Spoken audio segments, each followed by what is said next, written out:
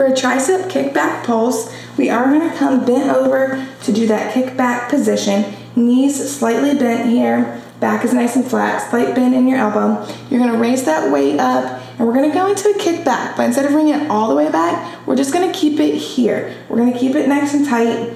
Definitely a harder move, so don't be discouraged if you have to go down a little bit and wait. It's a small range of motion. Really get those biceps, I mean, those triceps fired up.